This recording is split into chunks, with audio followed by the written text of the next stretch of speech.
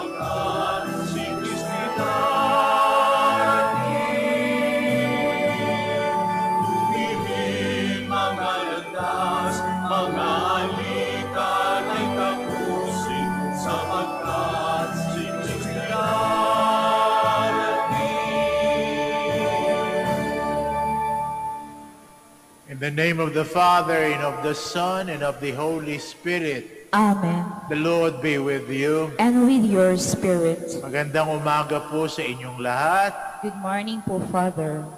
Tayo ngayon nagsisimula sa ating nobinaryo sa paghahanda sa pagsilang ng ating Panginoong Yesu Kristo. Ito'y pagpuri din sa ating Inang Maria, Misa de Aguinaldo, pasasalamat sa Kanya. Kung hindi dahil sa Kanyang matibay na pagsang-ayon sa balak ng Diyos, eh hindi sana mangyayari ang pagsasakatawang tao at pakikisalamuha ng Diyos kapiling natin upang tayo makapiling din at makapamuhay na kapiling ng Diyos. Kaya dahil kay Maria, gabay natin sa paglalakbay sa Adbiyentong ito, tayo makakarating sa isang masaya at matiwasay na pagdiriwang ng kapanganakan ng ating Mesiyas, ang ating Panginoong Yesu Kristo. Kaya ang tawag dito ay Misa de Aguinaldo. Misa ng ating pag-aalay, regalo sa ina ng Diyos, regalo din sa anak, upang sa gano'y magkaroon tayo ng puso na sisilangan ng ating Panginoong Yesu Kristo na kahit hindi natin nasaksihan ang unang Pasko sa ating puso, ay maranasan natin kung ano ang tunay na katotohanan at diwa ng Paskong nauna at orihinal na Pasko na binalak na maranasan natin ang ating Panginoong Diyos. At ito rin tinatawag na Misa de Gallo sapagkat ito'y dinaraos. Makikita nyo kapag ka tumitilao kang manok, galio sa Espanyol, ibig sabihin eh, tandang. Kaya pag tilaok ng manok, tayo'y gumigising, unang napupunta sa isip natin ay pasasalamat sa Diyos. Kaya naririto tayo ngayon, natitipon bilang isang mag-anak upang sa gano'y magpasalamat sa Diyos sa kaligtasan at pag-asang binigay niya sa atin. At lalong-lalo na sa kapatawaran ng ating mga kasalanan. Kaya muli, hingin natin ng patawad at pangunawa ang ating mga pagkukulang.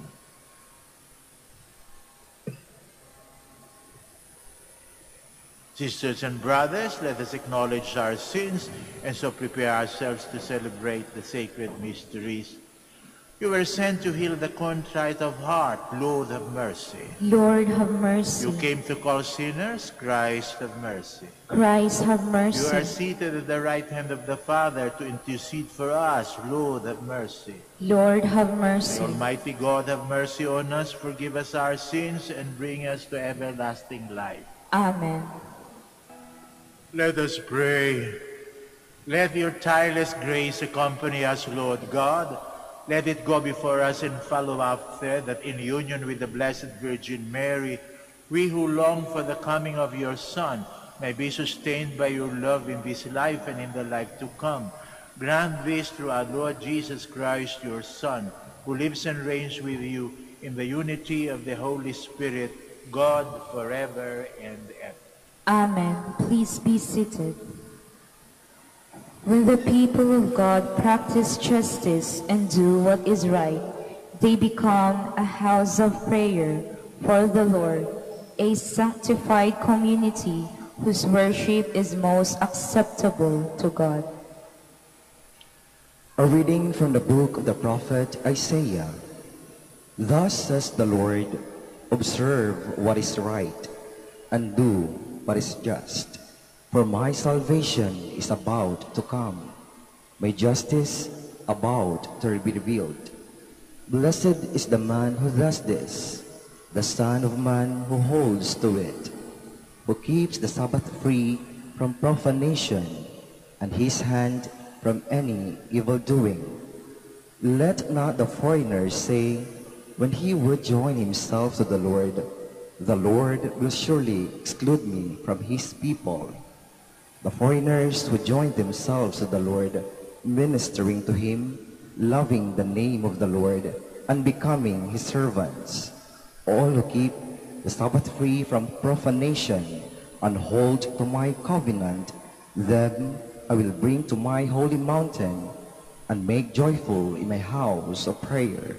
Their burnt offerings and sacrifices will be acceptable on my altar. For my house shall be called a house of prayer for all peoples. Thus says the Lord God, who gathers the dispersed of Israel. Others will I gather to him, besides those already gathered. The word of the Lord. Thanks be to God.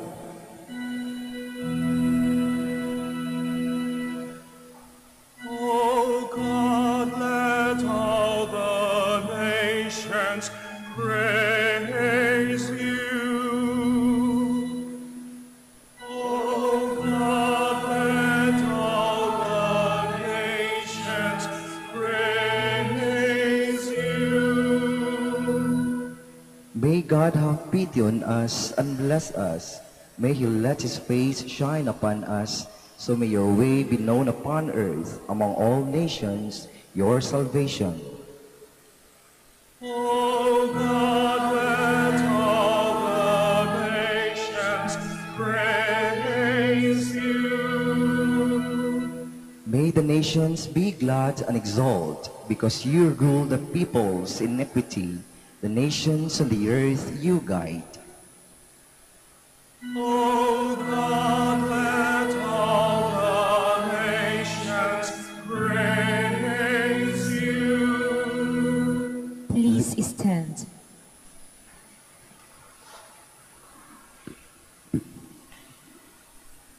Alleluia, Alleluia. Come, Lord, bring us your peace, that we may rejoice before you with a perfect heart. Alleluia, Alleluia. The Lord be with you. And with your spirit. A proclamation from the Holy Gospel according to John. Glory to you, O Lord.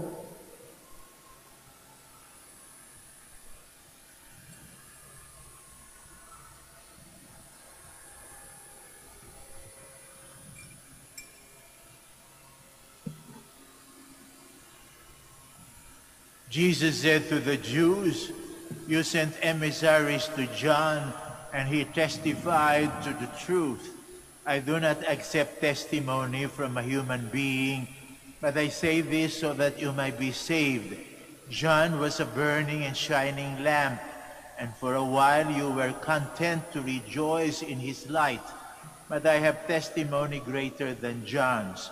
The works that the Father gave me to accomplish, these works that I perform testify on my behalf that the Father has sent me.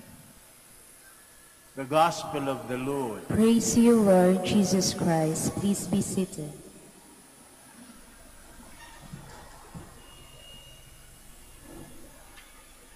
Si Juan ay isa sa ating mga gabay sa paglalakbay natin patungo sa pagsilang ng ating Panginoong Heso Kristo. At karapat dapat naman, sapagkat ayon nga sa salaysay na ating kababasa lamang natin sa Ebanghelyo ayon kay Juan Evangelista, si Juan Bautista ay isang lampara. Hindi siya ang liwanag, nakikihati lang siya sa liwanag. Subalit maningning siya upang sa ganon gabayan tayo sa ating paglakad. Kailangan natin ng lampara, tagahawi ng landas upang makita natin yung ating dinadaanan nang hindi tayo matisod at hindi tayo madapa. At kung susuriin natin ang buhay ni Juan Bautista, ay makikita natin siya karapat dapat na maging gabay natin sa ating paghahanda sa pagsilang ng ating Panginoong Heso Kristo. Siya ang buhay na magbibigay sa atin ng mga practical na aral kung paano natin talagang maligayang maidaraos ang pagdiriwang sa pagsilang ng ating Panginoon. Kung ating babasahin ang mga ginawang ugali ni Juan Bautista, makikita natin doon ang mga practical tips, ika nga, kung paano natin maisasagawang mahusay at matino itong pagdiriwang natin ng Pasko sa taong ito. Unang-una, pumunta siya sa ilang, wilderness. Bakit siya pumunta sa ilang?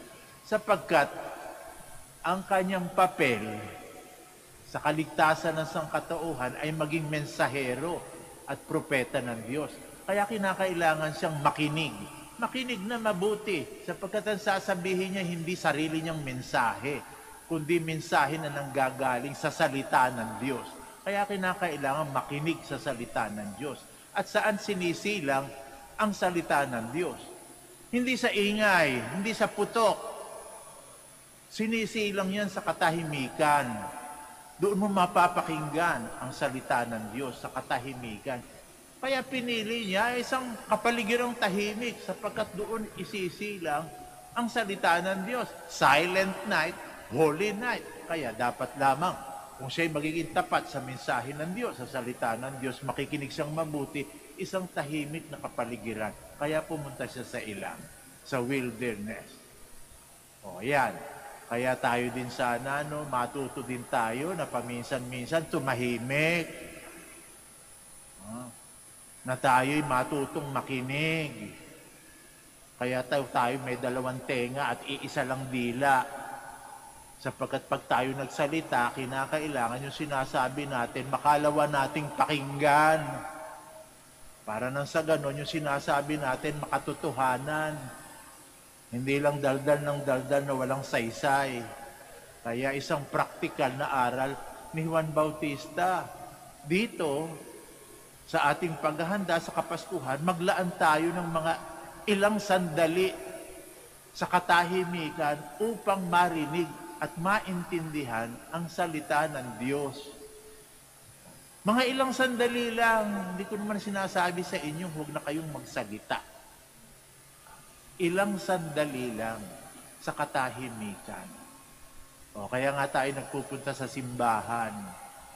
Ayan, kaya salamat sa inyo sa pagpunta nyo sa simbahan, karapat dapat lamang, sapagkat kaya itong simbahang ito ay itinayo upang magkaroon ng mga espasyo na mapupuntahan kayo na walang masyadong ingay upang sa ganon, eh makipagtalas-tasan tayo at makipag-usap at makinig sa Diyos. Sapagkat ang Diyos napapakinggan hindi sa ingay, hindi sa katahimikan.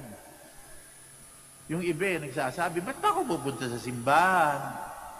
Ang Diyos naman eh, nasa, nasa lahat ng dako, sa lahat ng lugar, ang Diyos nandoon.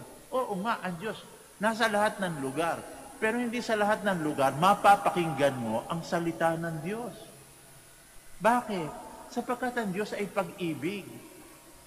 At kung siya'y makipag-usap sa atin, hindi pa bulya, hindi pa sigaw.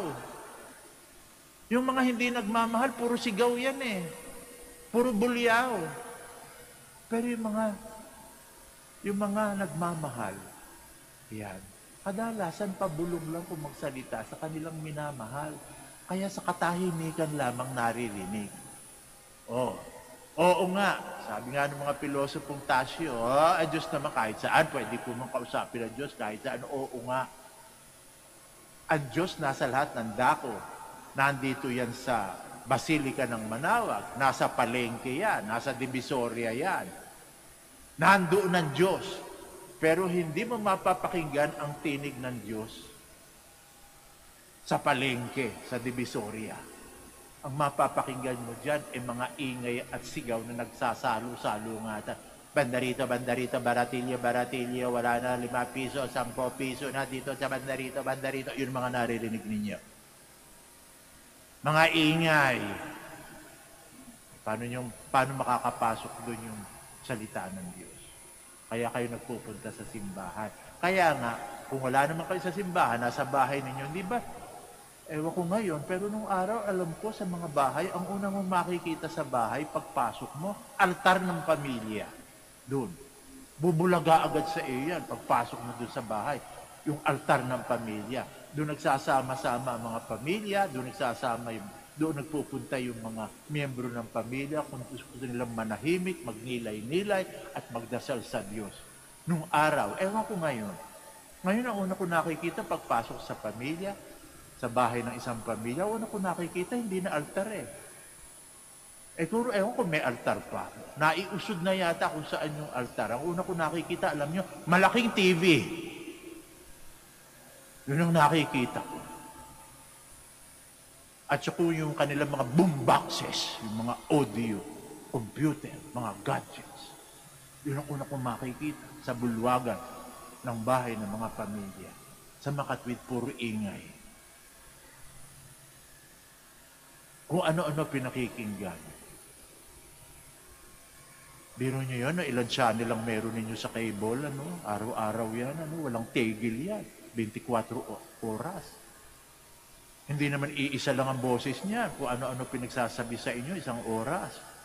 Hindi lang isang oras, maraming oras, 24 oras. Hindi nga kayo makapamili kung ano panunuorin nyo, kung, ano, kung sino ang pakikinggan nyo sapagkat hindi iisa ang boses na pinakikinggan nyo. Ganon din sa radyo. Ganon din sa mga pahayagan. Nalilito na kayo. Anong ba rito totoo? Kaya paminsan-minsan naman, pwede ba, manahimik tayo.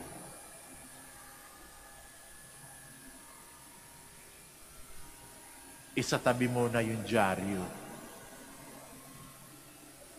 Manang mga ilang sandali. Di ba sinasabi huwag kayo magbasa? Araw-araw naman nagbabasa kayo at puro masasamang balita lang naman ang nakikita ninyo na babasa. Sara nyo yung inyong radyo sapagkat ang mga balita namang naririnig nyo, ganun at ganun din. Hindi naman magagandang balita, kundi puro masasamang balita din. Sa TV, ewan ko kung ano mga binabalita, ganun din naman. Hindi ba kayo nagsawa? Pare-parehong boss naririnig nyo, mga drama ng politiko, di mo malam kung totoo o hindi, kung drama lang, arte lang, kung alin ang katotohanan. Ayun. Yun ang ating kinakain araw-araw, nakamulaga tayo dyan. At hinuhubog yung ating kaisipan sa mga kaisipang nakakalito. Eh pwede ba, paminsan-minsan, makinig tayo sa salita ng Diyos. Ito ang magandang balita. Bakit pa kapag ka magandang balita, ayaw natin pakinggan? Ito na nga, oh. Si Father, araw-araw sinasabi, ito ang magandang balita. Ah, pero paano tinatanggap ng mga tao? Ah,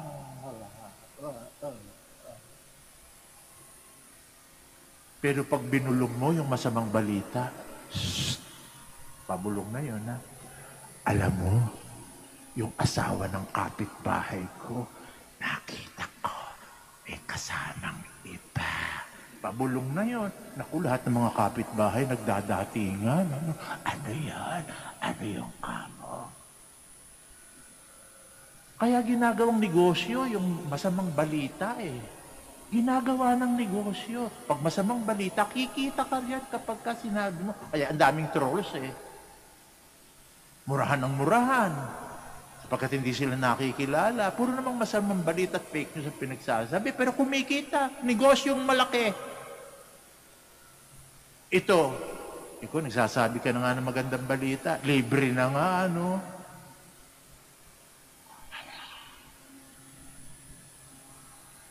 Ilan lang kayo mga nagtsitsaga dito na umisin na maaga upang makinig na mas mabuting balita. At baka ngayon, eh, hindi kayo mapakali na, hmm, matandang pari ito, baka mamaya mahaba sermon ito. Hmm. Minsan-minsan, hindi ko naman sinasabing buong, buong araw ninyo, tumahimik kayo.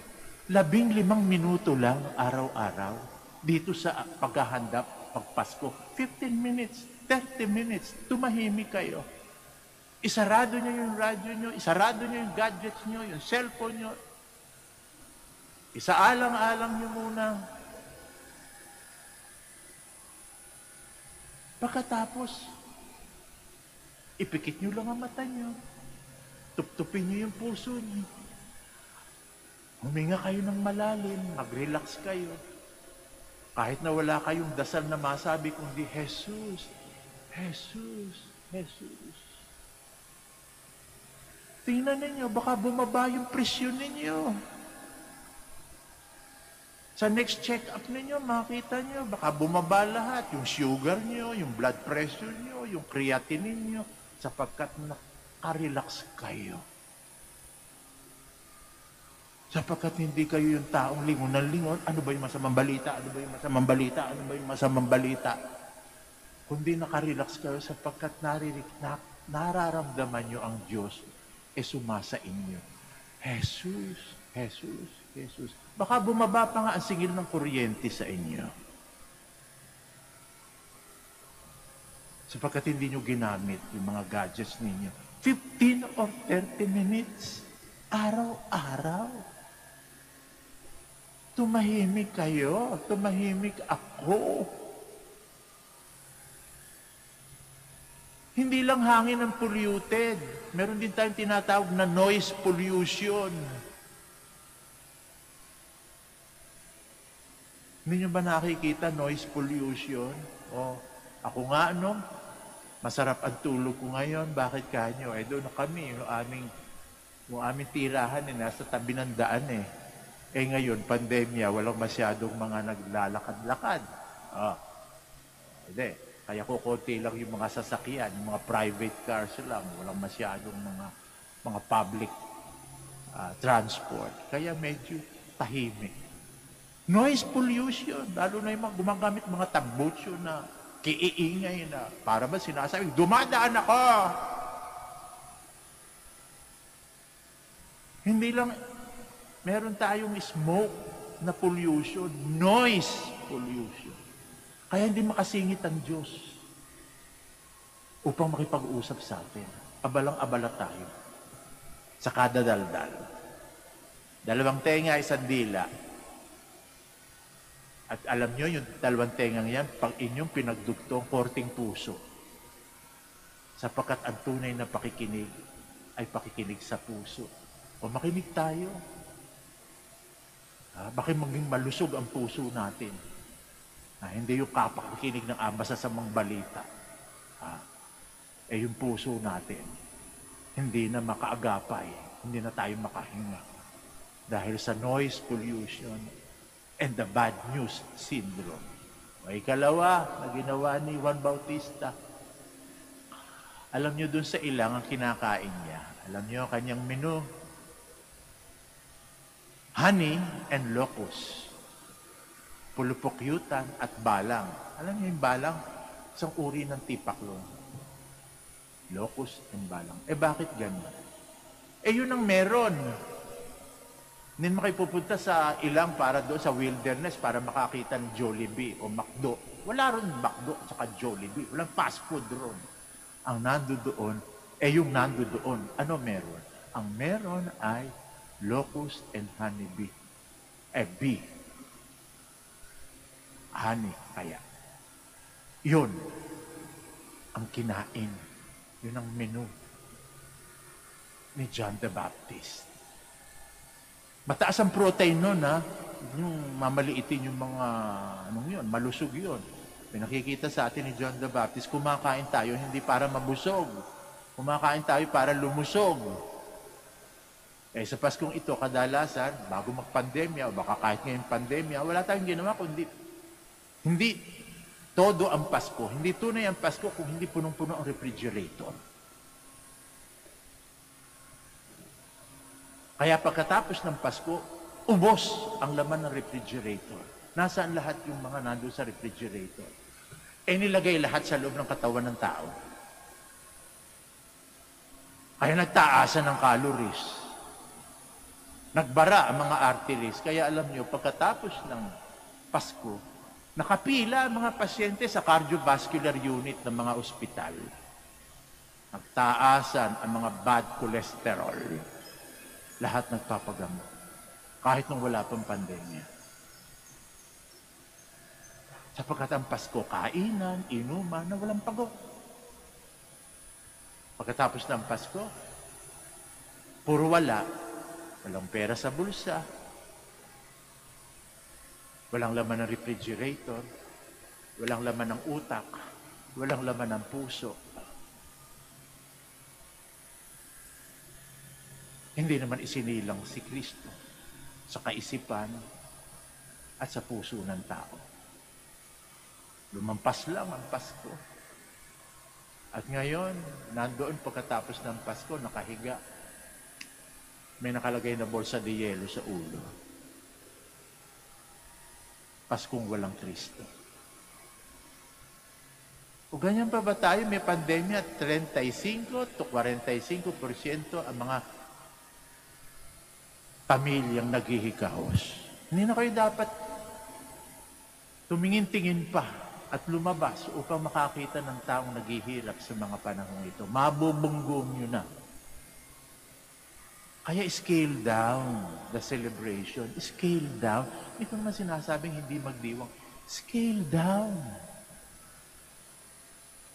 Huwag maghanap ng wala. Turuan natin ang ating mga anak. Baka ngayon sabi, Nanay, wala na bang chestnuts? Hmm, chestnuts. Pa-spelling nyo sa anak nyo kung ano chestnut. Baka hindi ma-spelling kung ano yan. Chestnuts. Wala bang grapes? Wala bang apples?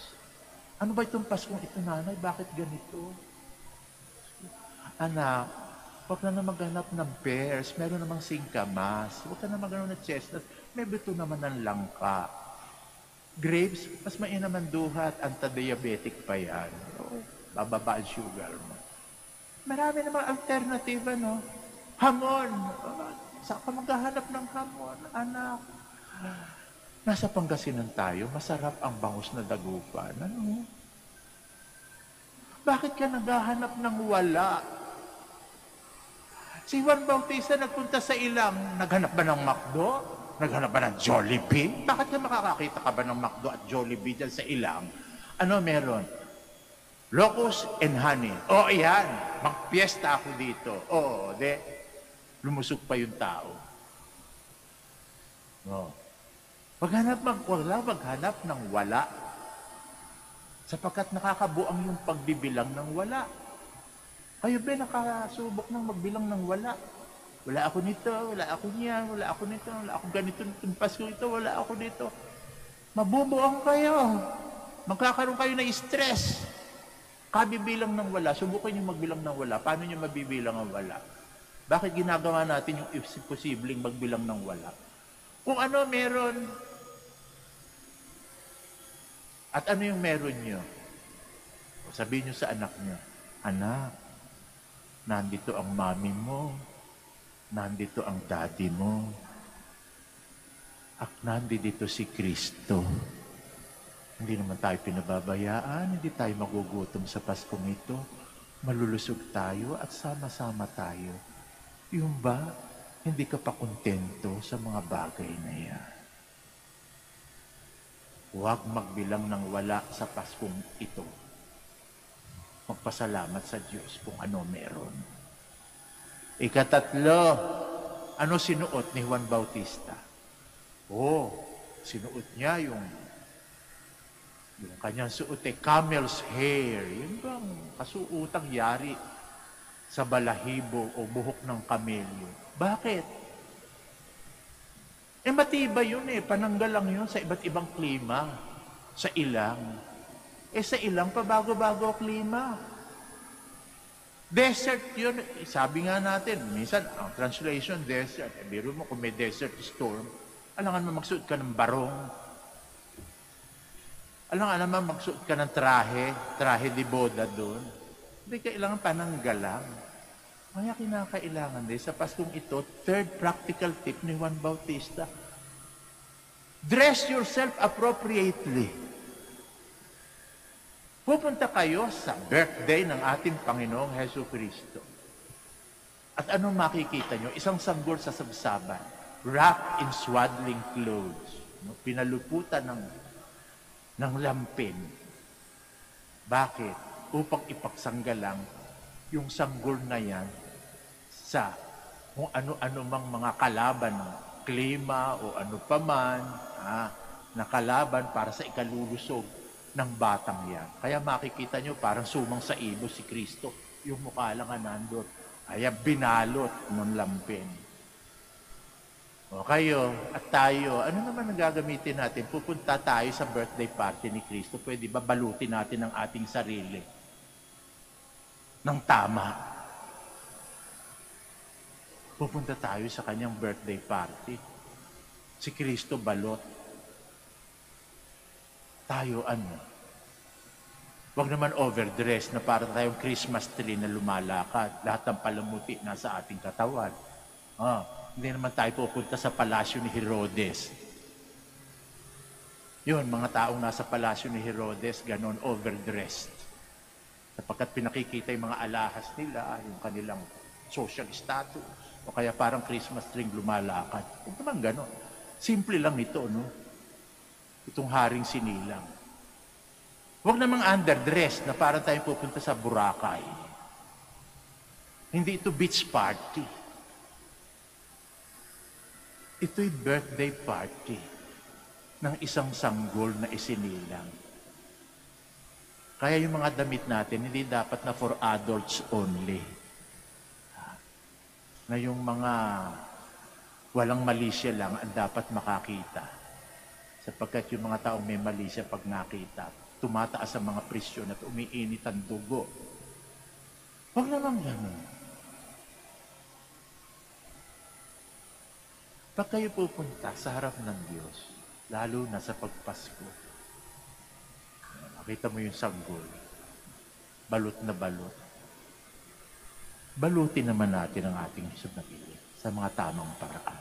O, tatlong tips lang ni Juan Bautista. Una, ano, tumahimik. Makinig. Ikalawa, magsaya at maging kontento kung ano meron. Ikatatlo, balutin ng tama ang ating mga sarili. Pag nagkaroon ng ganyan, mararanasan natin kung ano ang unang Pasko. Silent night. Holy night. Masaya. Mura na. Libre pa. At punong-puno ng pag-asa. Palagay ko yan ang gusto nating Pasko. Yung Pasko na kinanta ng mga anghel. Kapayapaan sa mundo at sa mga taong may mabuting kalooban. Sana tayong mga taong may mabuting kalooban. At sana, sana, sana all ay may mabuting kalooban sa Paskong ito nang maranasan natin kung paano isilang si Kristo sa bawat pusong Pilipino. Oh, let's all stand to offer our prayers.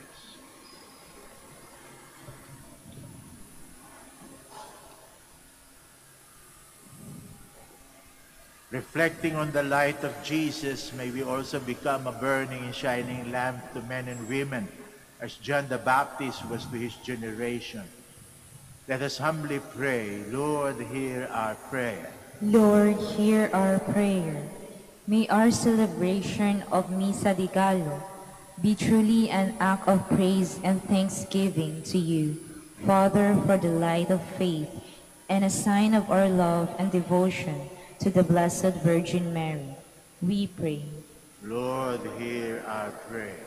May the light of Christmas fill those in authority with a spirit of peace and goodwill, that the land may be healed of war, division, and enmity.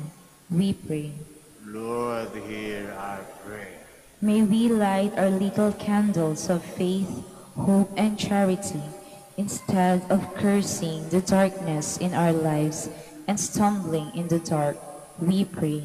Lord, hear our prayer.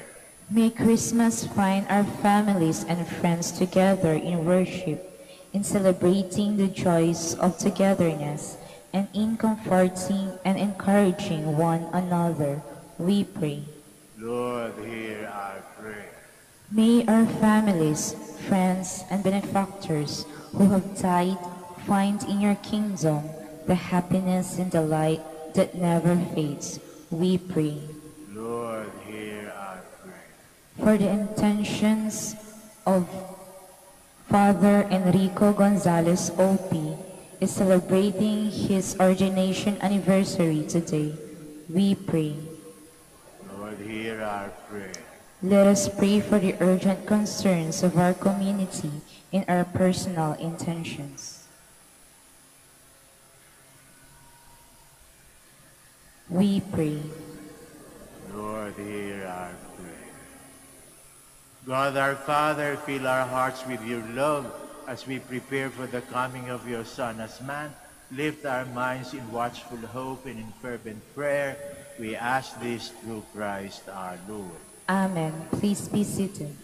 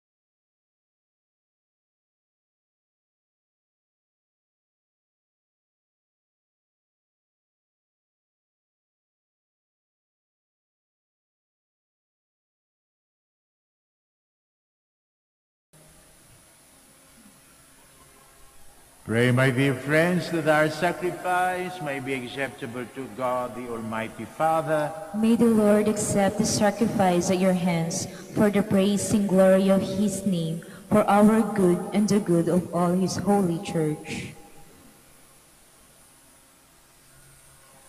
God, our strength, in you is our hope of salvation. As we present these gifts, renew your joy within us and make us a living sacrifice of praise. We ask this in the name of Jesus our Lord. Amen. The Lord be with you. And with your spirit. Lift up your hearts. we'll lift them up to the Lord. Let us give thanks to the Lord our God. It is right and just, It is truly right and just, our duty and our salvation always and everywhere to give you thanks, Lord, Holy Father, Almighty and eternal God, through Christ our Lord. For he assumed at his first coming the lowliness of human flesh, and so fulfill the design you formed long ago, and open for us the way to eternal salvation, that when he comes again in glory and majesty, and all is at last made manifest, we who watch for that day may inherit the great promise in which now we dare to hope. And so with angels and archangels, with thrones and dominions, with all the hosts and powers of heaven, we sing the hymn of your glory as without end we acclaim.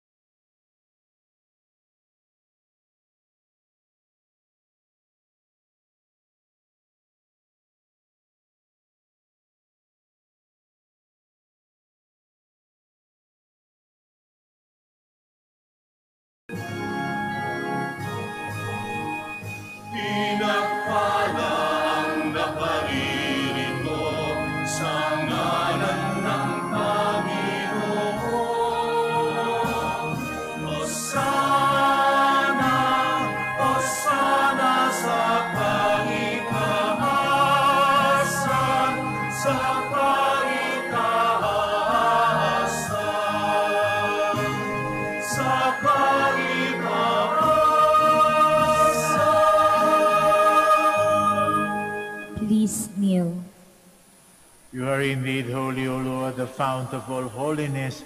Make holy, therefore, these gifts, we pray, by sending down your Spirit upon them like the dew fall, so that they may become for us the body and blood of our Lord Jesus Christ. At the time he was betrayed and entered willingly into his passion, he took bread and giving thanks, he broke it, gave it to his disciples, saying, Take this, all of you, and eat of it. This is my body, which will be given up to you.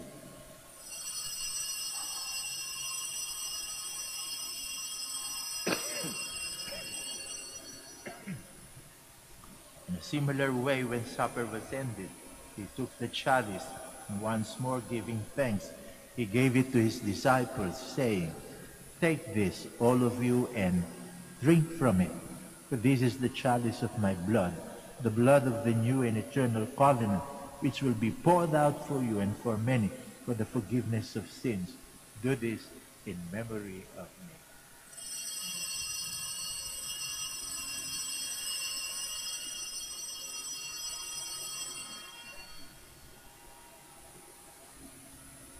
The mystery of faith.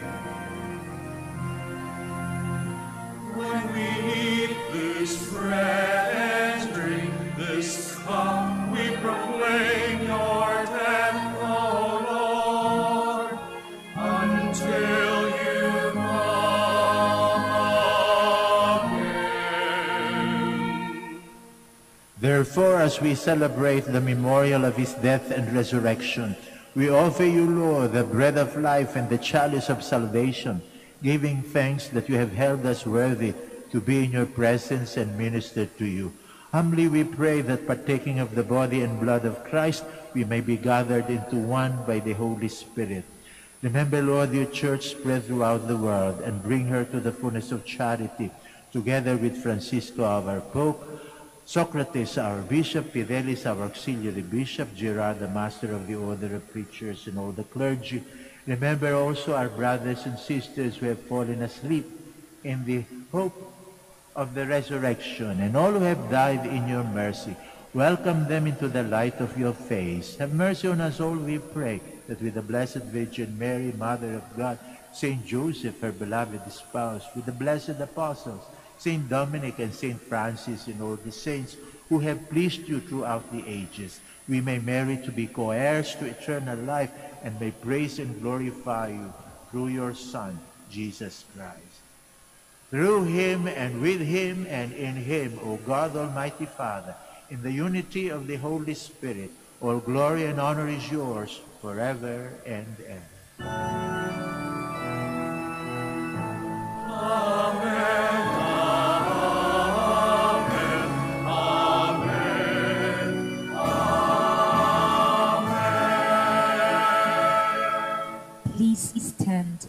Let us pray with confidence to the Father in the words our Savior gave us.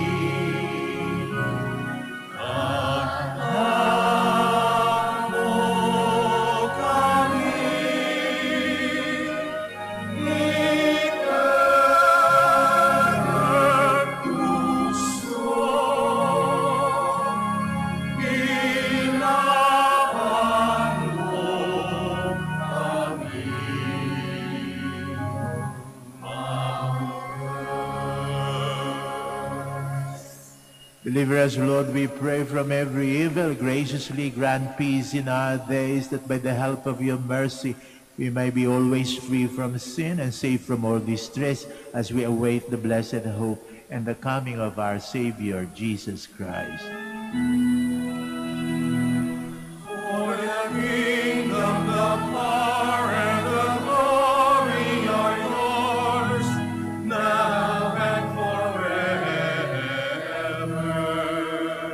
Lord Jesus Christ, who said to your apostles, Peace I leave you, my peace I give you. Look not on our sins, but on the faith of your church, and graciously grant her peace and unity in accordance with your will, who live and reign forever and ever.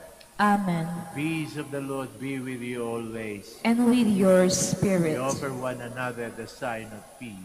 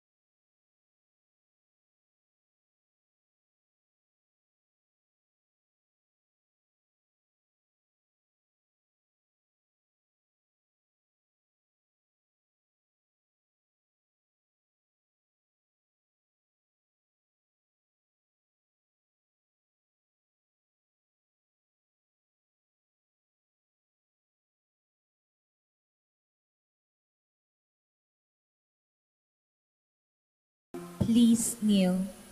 Behold, this is Jesus, the Lamb of God, who takes away the sins of the world. Happy are we who are called to this communion. Lord, I am not worthy that you should enter under my roof, but only say the word, and my soul shall be healed.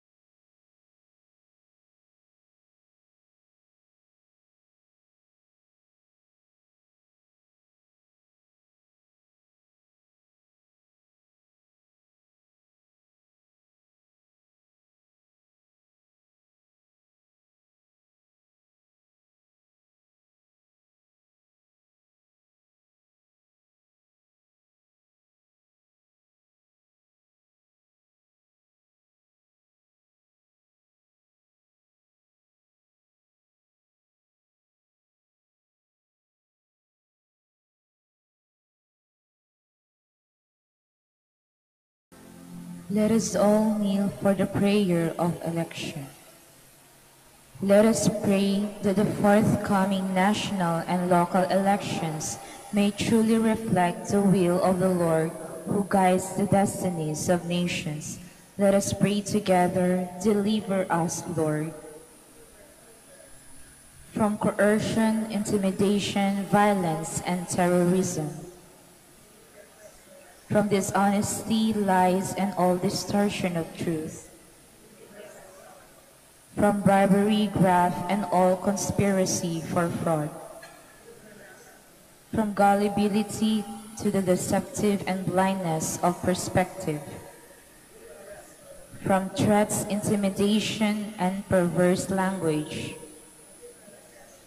Let us pray together, hear us, Lord that conscience may always be our ultimate norm, that the common good may always be our highest goal, that human dignity may be respected all the time, that the poor and the weak may always have the priority, that care for creation may never be ignored, that solidarity may guide the path of peace and development. That genuine fear of God and love of neighbors may guide those who seek public office.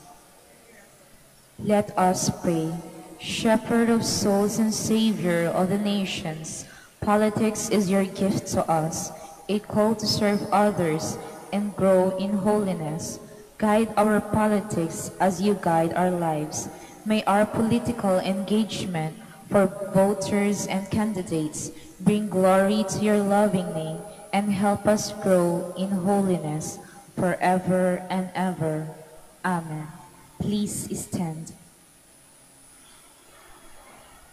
Let us pray. O God, we have received in word and sacraments the one whose coming John the Baptist so urgently announced. By the presence of Christ among us, reform our lives and give us courage to announce in the world that your kingdom is near. We ask this in the name of Jesus our Lord. Amen. Kami po ito pusong nagpapasalamat sa lahat sa inyo na nagsidalo at nakiisa sa aming pagdiriwang ng Santa Eucharistia. Naway pagpatuloy po ninyo ang inyong pagdarasal para sa mga naglilingkod sa inyo dito sa Basilica Minore of Our Lady of the Rosary of Manawag at makakaasa kayong pagpapatuloy din namin ang pagdarasal para sa inyo at sa inyong mga minamahal sa buhay. The Lord be with you. and with your spirit. The Almighty God bless you, the Father, the Son, and the Holy Spirit. Amen. The Mass is ended. Let us go in peace to love and serve the Lord. Thanks be to God. Now please join us as we pray for the blessing